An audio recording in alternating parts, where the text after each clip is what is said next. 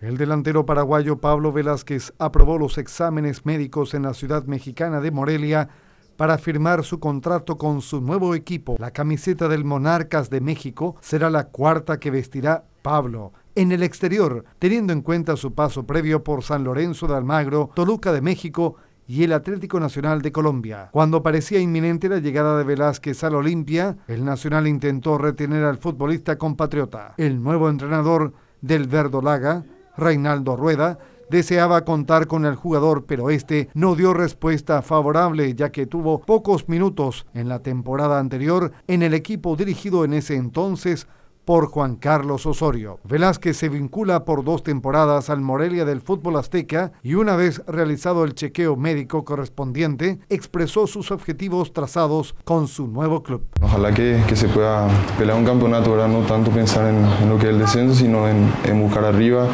Yo pienso que, se está formando un, buen grupo, de un buen equipo y, y bueno, solo faltaría demostrarlo en la cancha.